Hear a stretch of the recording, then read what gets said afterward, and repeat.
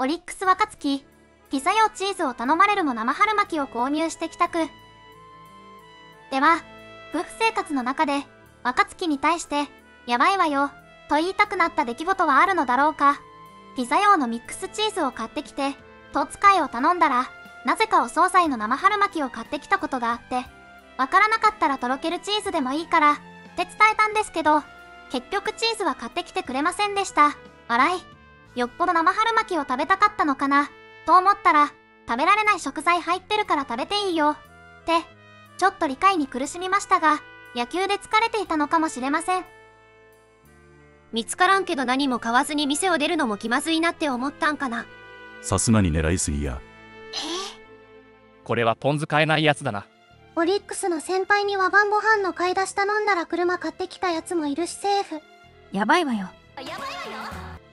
こんなんでよくサインとか覚えられるな。これ普通ならブチギレられるやろ。いい嫁もらったな。しかも自分は生春巻き食えないとかやばすぎる。この夫婦楽しそうです子。若月の実家を訪れた立花が、夫の好調時と不調時の打撃フォームの微妙な違いを再現したモノマネを披露して、家族一同が笑いに包まれたこともあったという。強すぎるわ。野球選手って野球以外に何もできないやつ多いよな。しっかりした嫁でよかったな。やばいわよと結婚してから打撃成績右肩上がりなんよ。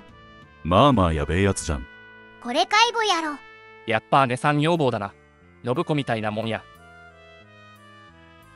娘も溺愛しとるみたいだし、このままずっと幸せな家庭築いてほしいわ。